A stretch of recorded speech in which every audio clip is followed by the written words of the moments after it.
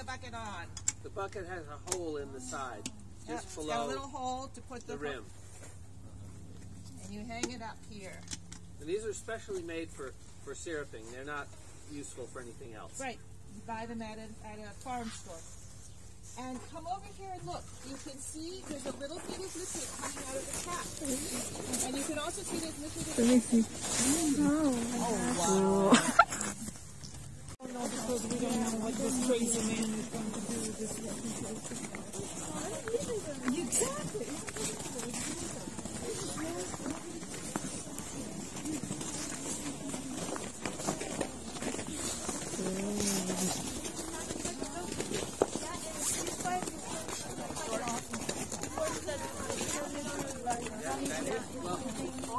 The liquids from the trees as well.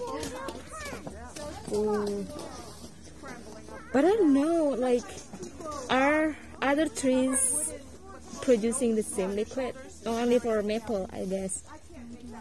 But maybe like for pinus, if they. We don't gather every day. We're not going to gather today. This right, you go. Only about, it's less than half as much sugar. And it's frozen. Let me see. Wow. It's frozen, yeah. Oh yeah.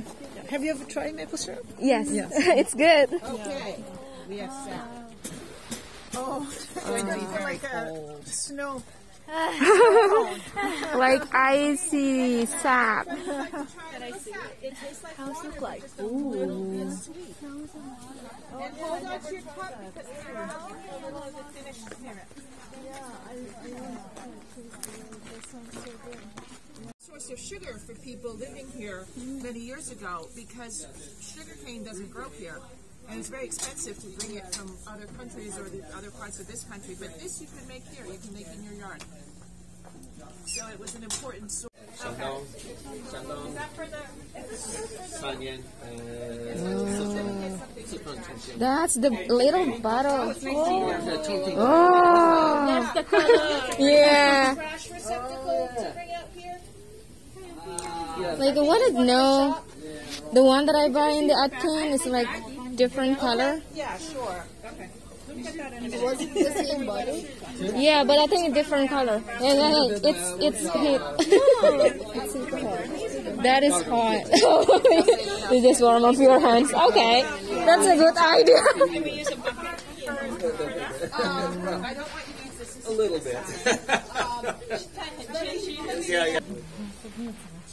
So the This is the filter. is filtered and goes into those pots. Um,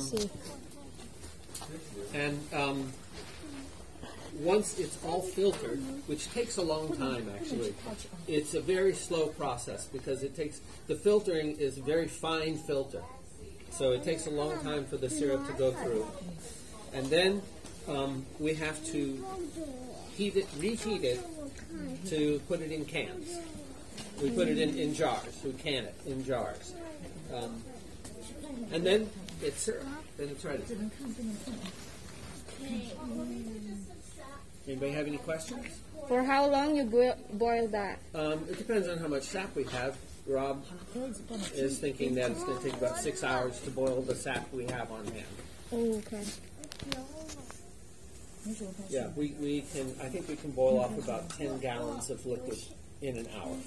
I don't know. Ten gallons of water, so it's quite a bit. This is all very sticky. Yeah, go ahead. You can ask me. yes.